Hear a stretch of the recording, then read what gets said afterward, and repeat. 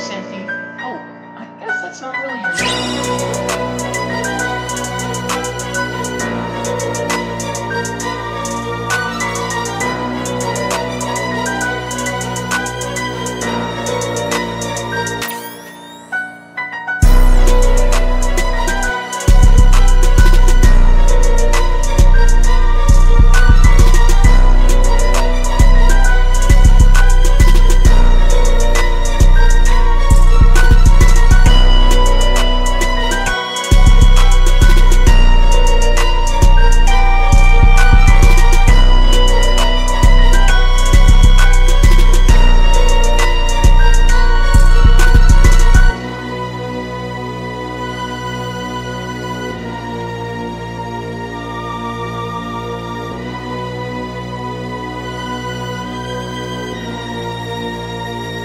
Música